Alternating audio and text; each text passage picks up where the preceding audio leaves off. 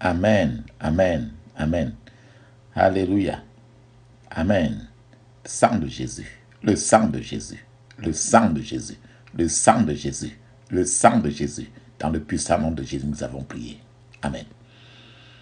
Bien-aimés dans le Seigneur, bonjour, bonsoir. Que la grâce et la paix du Christ soient avec vous, soit avec toi. Que la grâce et la paix du Christ soient avec toi. Au nom puissant de Jésus. Mon frère, ma soeur, je suis ton partenaire de prière d'habitude, le docteur chrétien Foucault. Alléluia.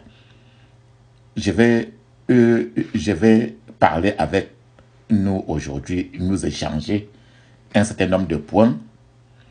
Euh, plusieurs se posent souvent la question, comment en réalité, dans la prière, quand tu fais des prières de guerre étant même seul, ou bien quand quelqu'un est en train de faire des prières pour surtout pour t'aider dans la prière et ou t'aider dans ta propre délivrance. Uh-huh. il y a un certain nombre de manifestations qui se passent le plus souvent.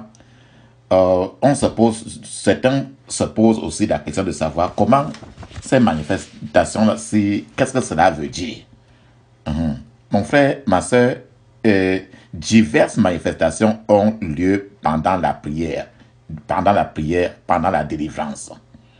Certains, euh, d'entre elles, ces manifestations peuvent être euh, des manifestations légères et d'autres des manifestations très sauvages. Euh, la modération ou bien légère ou la violence des manifestations n'indique pas euh, toujours l'efficacité euh, euh, de la délivrance ou son absence.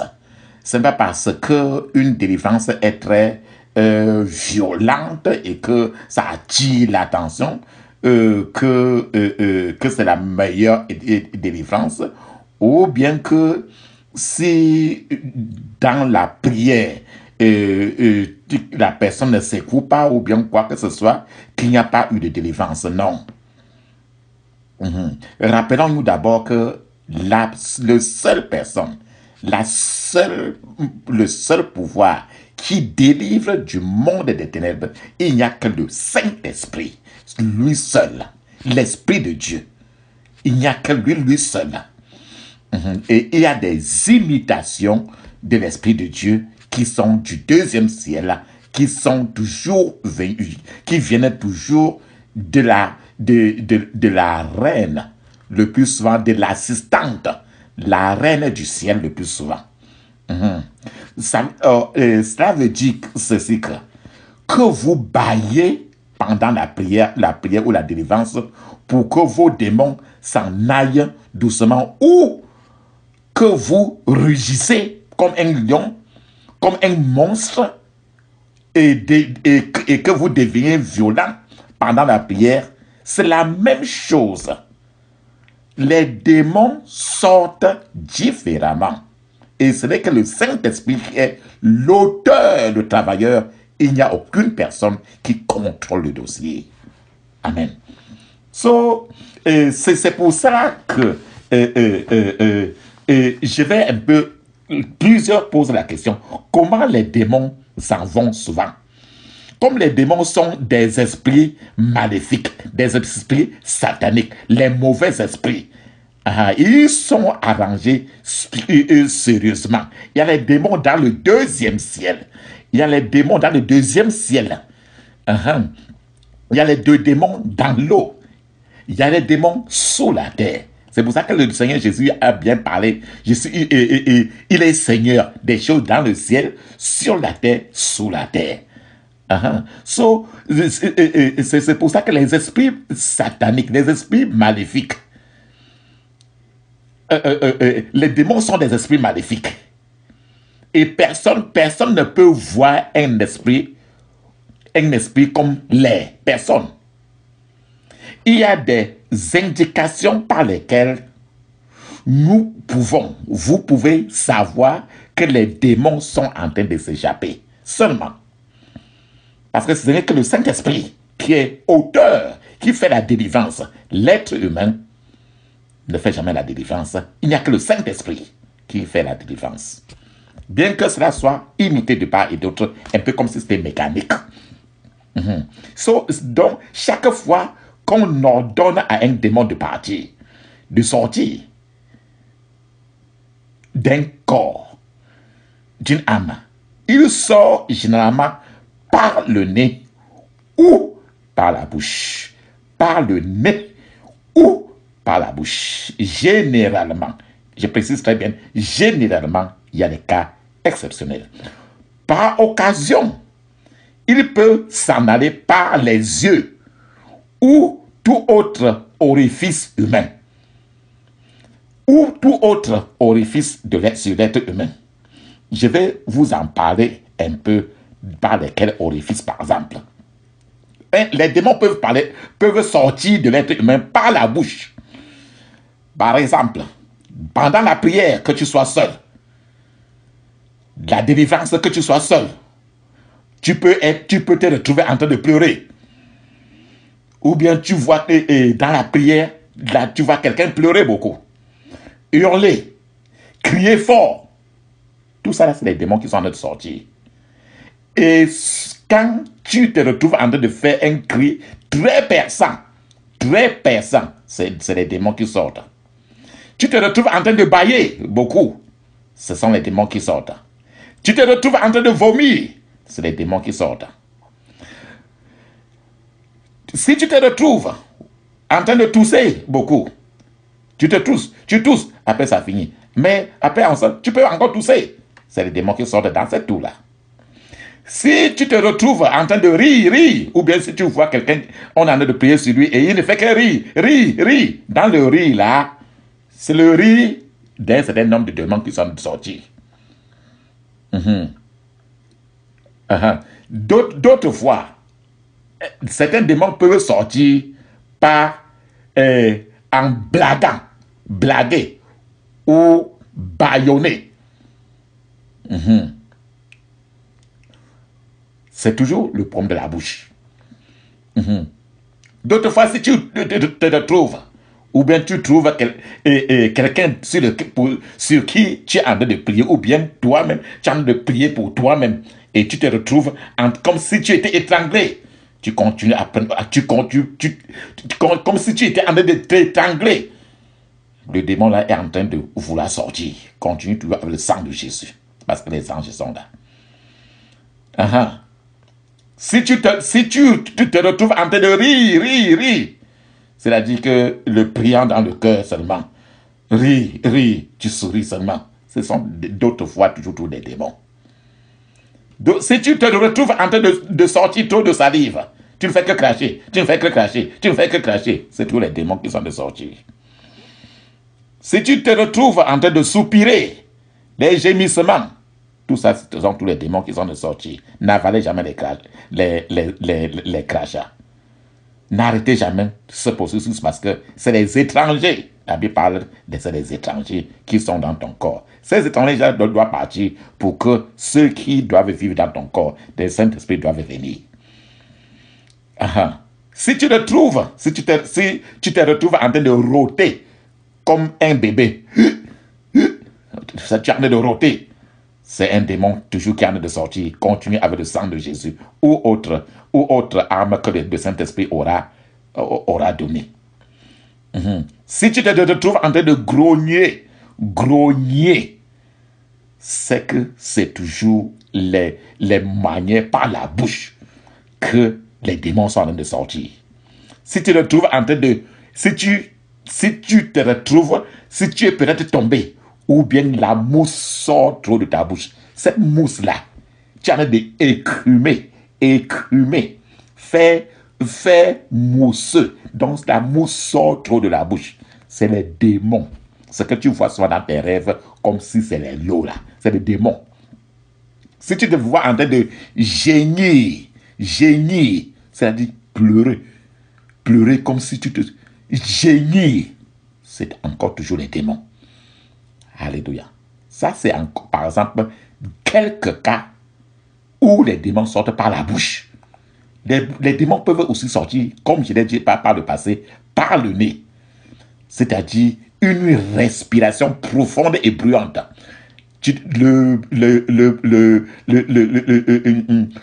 Le, frère ou la soeur se, retrouve en train de respirer trop. Respiration, une respiration profonde et, et bruyante. Alléluia. Par le nez et encore, c'est pas éternuement, éternuer. C'est encore d'autres manières quand les, démons sortent pendant ta prière de délivrance. Mhm. D'autres encore, un point aussi. Ce démon qui sort par le nez, euh, il peut, si tu te retrouves en train de, te moucher, comme dans le cas de la sinusite, c'est que tu te retrouves comme si tu avais la sinusite tout, le temps, tout le temps. C'est les démons. Ou de te nettoyer les narines tout le temps, tout le temps, tout le temps, tout le temps. Ces, narines-là, ces trucs-là qui sont de sortir, c'est les démons qui sont de sortir par la narine, par les, par les, par les mauves. Mhm. Donc tu, te retrouves en train de te moucher tout le temps. Tu crois que tu as un, qu'il faut prendre un certain... Non, le plus souvent, c'est certains démons qui, le plus souvent, vivent souvent d'autres fois dans les narines et ils veulent sortir. Alléluia. Voilà encore un, certain nombre de points, par exemple, par lesquels les démons partent par le nez. Je vais encore vous évoquer encore, par exemple, les, les démons peuvent aussi partir par les yeux. J'ai évoqué, euh, euh, euh, par exemple, les pleurs. Quand quelqu'un est en train de pleurer, pleurer, pleurer, pleurer, pleurer, pendant la prière, reste-lui tranquille, le Saint-Esprit est en train de travailler. Le, les démons sont en train de sortir. Généralement, cela peut être cela. Il y a d'autres manières encore. Si tu peux te retrouver en train de transpirer profondément, la transpiration, la transpiration, tu vois la sueur sort, transpirer, tous ces sueurs-là, la transpiration-là, c'est des démons. Ah ne, ne, t'inquiète pas. envoie toujours le feu du Saint-Esprit. Que le sang de Jésus continue à travailler. L'Esprit de Dieu, il faut que le Saint-Esprit de Dieu reste. Euh, euh, euh, laisse l'Esprit de Dieu travailler toujours. Si tu te retrouves en train de. pendant. Les démons peuvent aussi sortir par des émanations fétides de gaz? Ça veut dire que. Et nous appelons le plus souvent la personne se, retrouve en train de péter, péter, péter, péter, péter, péter. Tout ces pète là, c'est des démons. Alléluia. D'autres fois encore, regarde, maintenant encore, nous sommes déjà sur la voie excrétoire, excrétoire, où tu vas au cabinet là. Maintenant, là, tu peux retrouver aussi. Tout le temps, tu ne fais que aller chier. Tu ne fais qu'aller chier. D'autres caca que tu vois comme ça, tu te demandes, mais les caca, c'est comme ça là. J'aime manger quoi Avant que ça. Je ne fais que chier, je ne fais que chier. C'est les démons qui sont là qui sont partis depuis, depuis des gens, les gens, les gens de ta génération, de la génération. Les, les caca là, c'est des YouTube peut-être quelqu'un a mangé, il y a de ça, il y a de ça près de 150 ans même et que, ces, ces genres de, de caca ne peuvent jamais sortir si ce n'est pas le sang de, de Jésus. Donc, les caca et les excréments, excréments, excréments, tout ça, c'est toujours les démons. D'autres fois, tu peux te retrouver en, train de... Il y a d'autres fois, pendant ta prière, pendant la prière, pendant la délivrance, tu te retrouves en train d'émettre de, des odeurs terribles. C'est que tu commences à sentir trop les odeurs terribles. Tous ces odeurs-là, c'est toujours des, odeurs, c'est la sortie des les démons sont en train de partir. D'autres fois, tu peux te retrouver en train de, pendant que tu es en train de prier, tu peux uriner trop. D'autres fois, tu urines dans le caleçon. Tu urines trop. Mais ce n'est pas que tu contrôles ces urines-là. C'est les démons qui sont en train de partir à travers les urines. Alléluia. Amen. Ils sont en train de, ils sont en train de partir. Alléluia. Mhm. D'autres fois, euh, ça c'est encore, ça c'est comme ça, d'autres manières, plusieurs manières par lesquelles les démons peuvent, peuvent partir. Uh-huh. Je vais un peu nous attirer encore l'attention sur un certain nombre de points. Autre point encore. C'est généralement, tu trouves toi-même qui en train de prier. C'est pour ça que j'insiste et je, je, je, je, je, conseille beaucoup que chacun, le, le Saint-Esprit lui seul peut conduire ta délivrance totalement. Totalement. Mhm, totalement. Si tu te trouves toi-même ou bien la personne qu'on a en train de prier pour sa délivrance, si tu trouves pendant la prière, la personne, la langue de la personne se lance dehors. Et cette langue retourne encore dedans rapidement, comme celle d'un serpent. Sache que dans la personne, il y a un esprit de serpent. C'est ce qui est écrit dans Luc 10, verset 19. Et cet esprit de serpent, le plus souvent, c'est encore, ça va plus loin que cela. Ça peut être un serpent de très loin. Ah, il y a encore beaucoup de choses. en ce moment-là, il faut tout dépendre du Saint-Esprit. Alléluia. Mhm. Si encore, tu vois par exemple, tu te retrouves ou bien tu vois ton frère, ta soeur, les, qui est en train de faire face au, à, la délivrance. Les yeux de la personne prennent vraiment l'éclat beaucoup. Les yeux s'ouvrent, les, les yeux sont trop écartés. Mhm et tu, tu observes un peu de la surnoiserie et la froideur qui rassemble qui ressemble totalement un peu à la lutte de la froideur d'un serpent sur la personne. Et le corps de la, et la personne aussi, si le, la personne se, met à, le, si le, le corps de la personne se tord trop, et ça se tord et ça ondule comme celui d'un serpent. Quand tu vois le serpent marcher le plus souvent, il a de, de, onduler. Son corps se tord beaucoup et il ondule. Ah, voilà les trois points qui le plus souvent montrent qu'il y a un esprit de serpent qui est dans Luc 10, 19. L'esprit de serpent qui vit dans la personne. Alléluia. Mhm. Donc, d'autres fois aussi, tu peux voir, remarquer la main, les mains de la personne. Si les mains se tortillent, les mains se serrent et peuvent devenir engourdies et parfois se secouent. Les mains se secouent beaucoup. Les doigts deviennent très rigides. Les doigts deviennent trop étirés. Droit comme le fer. Notez que les démons qui sont à l'origine de cette manifestation dans la personne sont les démons de la sorcellerie ce sont les démons du suicide. La personne ou bien quelqu'un dans, dans, sa génération a fait la sorcellerie, ou bien la personne, ou bien, ou bien lui-même, ou bien le suicide lui-même, il a contemplé le suicide un temps, ou bien quelqu'un de sa génération a fait le suicide. Et ce, démon-là est entré dans lui. D'autres, et, si tu remarques encore ce cas-là, c'est que c'est les démons du meurtre si tu as déjà fait l'avortement, si tu as déjà tué quelqu'un, si quelqu'un de ta famille, partenaire ou maternel, dans le passé a eu à faire un meurtre, généralement tu vas voir les mains de la personne réagir de cette manière.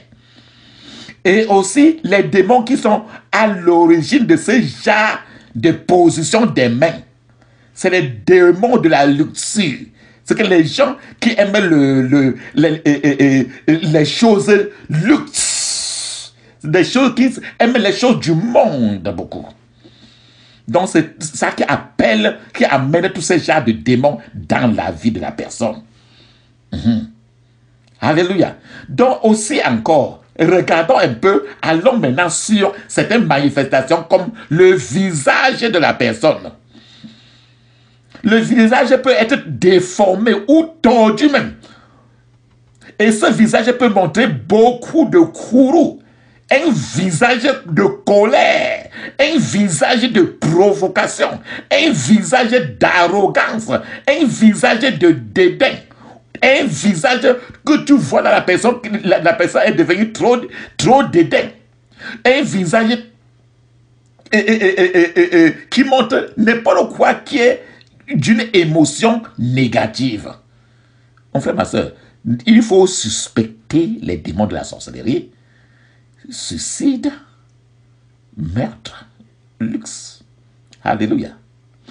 Mhm. Maintenant aussi, tu peux remarquer que pendant la, prière, la délivrance, la personne peut, peut, enregistrer, peut vivre un certain nombre de douleurs. Par exemple, les crampes, la nausée peuvent être ressentis sur différentes parties du corps. Pendant que tu es en train de prier, la nausée peut être ressentie sur différentes parties du corps pendant la séance de la prière ou de la délivrance. Mais généralement, ces nausées, ces crampes, ces douleurs disparaissent au fur et à mesure que la délivrance avance ou qu'elle prend fin. D'autres fois, quand la délivrance finit, ces douleurs, ces crampes-là finissent aussi. Toujours, encore sont toujours les manières dans, lesquelles les démons peuvent eux aussi euh, manifester. Pendant que toi, tu peux aller de prier à toi seul. C'est pour ça que nous, euh, euh, souhaitons toujours que chacun soit suffisamment concentré. L'œil sur la croix de Golgotha. Et laisser le Saint-Esprit travailler. Et non une personne travaille pour toi. Alléluia. Amen. Mhm. D'autres fois, je vais encore évoquer un autre cas, mon frère, ma soeur. Vous pouvez voir d'autres personnes euh, pendant la prière, pendant sa propre délivrance même, ou bien quelqu'un est en train de l'aider à faire sa propre délivrance. Vous, vous remarquez euh, euh, l'oscillation, oscillation, oscillation, les hanches de la personne le tournoiement des hanches, les mouvements sexuels peuvent se passer lorsque, vous éjectez les démons de la luxure, les démons de l'adultère, les démons de la danse. Donc ne sois pas surpris de voir quelqu'un faire comme s'il était, il était dans les mouvements sexuels. D'autres fois, il fait comme s'il danse, les mouvements des reins le, la hanche tourne. La hanche comme tourne comme s'il dansait. C'est le démon de l'adultère qui, qui peut être dedans. Le démon de, la danse, le démon de la luxure peut être dedans. C'est ça que lui il provoque. Il te fait encore avoir une idée de ça. Encore, nous rappelons toujours que c'est le Saint-Esprit seul qui est maître. Mhm. Euh, je vais encore nous rappeler, encore revenir sur la mauvaise odeur cette mauvaise odeur aussi, pendant les prières, pendant la délivrance que toi-même tu peux faire, peut être produite par, par, euh, euh, euh, par toi-même lors de ta propre délivrance. Ne sois pas étonné. Ne, t'inquiète pas parce que tout cela, c'est le Saint-Esprit qui est en train de, de, de faire sortir tous ces démons-là. Elle peut être une odeur familière, que tu te rappelles bien de ces odeurs-là, mais ou même d'autres fois des odeurs que tu, que tu ne sais même pas là où ça sort. Uh-huh. mais ne t'ennuyez pas beaucoup. Ne vous ennuyez pas parce que ces odeurs-là persistent quelque temps. Mais ensuite, ces odeurs-là disparaissent. Uh-huh. Alléluia. Uh-huh. Un autre cas encore pour lequel je vais vous attirer l'attention. L'attention certainement sur la mort. Les démons de la mort. Les démons peuvent se manifester et faire à ce que euh, le patient, le malade, se présente comme, comme, comme mort. Mon frère, ma soeur, si, tu es, si vous êtes un novice dans le, ministère de la délivrance, ceci peut vous faire peur. Mais euh, mon frère, cela n'est pas nécessaire d'avoir peur. Ce que nous devons, ce que vous devez faire à cet instant est d'entrer tout simplement dans le monde spirituel reconnaître votre position. Cette position-là qui est très, très exaltée en Christ. Mhm. C'est cette position-là que vous verrez dans Ephésiens chapitre 2, verset 6. Et avec Ephésiens chapitre 2, verset 6.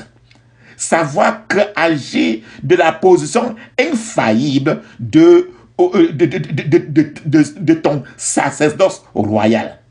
Et il est écrit dans 1 Pierre chapitre 2, verset 9. Il dit que vous êtes une nation sainte, un sacerdoce royal. Ça veut dire qu'en tant que roi, quand un démon veut faire mourir quelqu'un, tu dis non, je rejette la mort.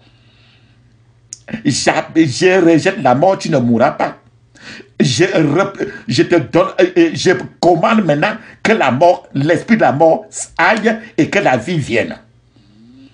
Mhm. Donc, à partir de là, donner à la vie de revenir. Et enfin, euh, la Bible dit dans Matthieu 18, verset 18, que tout ce que tu seras lié sur la, euh, tu auras lié sur la terre sera lié au ciel. Tout ce, tout ce que tu auras délié sur la terre sera délié au ciel. Maintenant, tu dis, je lis l'esprit de la mort. Et je commande à cet esprit de partir et ne plus entrer au nom de Jésus. Je relâche maintenant l'esprit de vie, l'esprit de vie, de vie en abondance, au nom de Jésus. So, quand vous voyez les, paupières de la, de la personne, du patient, trop ouverts, le globe de, de l'œil oculaire tourné dans la tête, le corps de la personne devient rigide, le corps devient retiré et les jambes de la personne deviennent immobiles. Les membres de la personne deviennent pendants, les mêmes pendants comme si la personne n'existait plus. Les, les, membres sont baissés, les mains baissées. Mon frère, ma soeur, sachez que l'esprit de mort, de la mort, est présent et se manifeste en la personne. Matthieu 18, 18. Tout ce que tu vas lier sur la terre sera lié au ciel. Tu vas lier cet esprit de mort. Et tu vas dire que cet esprit va et n'entre plus au nom de Jésus. Je relâche l'esprit de vie sur ceux, sur celui-ci au nom de Jésus. Sachez que vous avez, sachez que vous êtes un sacerdoce royal, une nation sainte. C'est pour ça que, en tant que roi que le Seigneur a placé sur la terre, vous euh, donnez maintenant cet ordre. Et cet ordre, à, la, tout ce que vous avez dit, cela fait. Parce que vous travaillez avec les anges de la guerre. Alléluia. Un autre point pendant la délivrance, c'est la violence. C'est pour ça que pendant la délivrance, euh, quand, euh, euh, il peut se manifester avec, la, délivrance peut se, manifester avec la personne.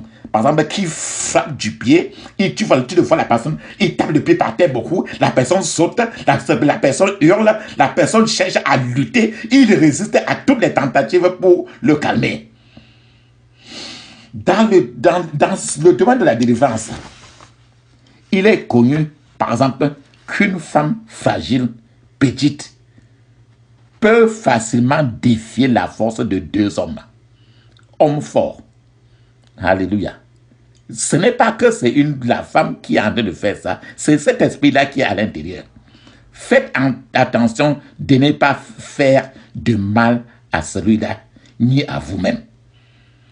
C'est un esprit qui, veut, qui doit être lié, commandé encore, comme nous avons parlé de l'esprit de la mort. Je commande à cet esprit, de, je lis cet esprit au nom puissant de Jésus et je commande maintenant à ce que cet esprit-là sorte et n'entre plus au nom de Jésus. J'interdis totalement toute violence faite sur cet enfant de Dieu au nom de Dieu.